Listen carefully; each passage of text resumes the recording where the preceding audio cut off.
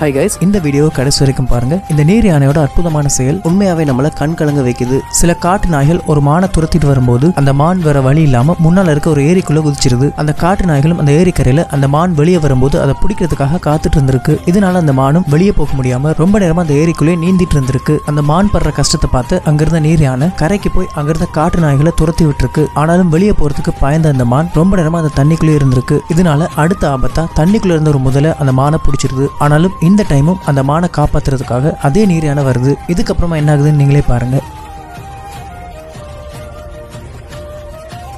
இந்த வீடியோ பிடிச்சதை லைக் பண்ணி சப்ஸ்கிரைப் பண்ணிருங்க.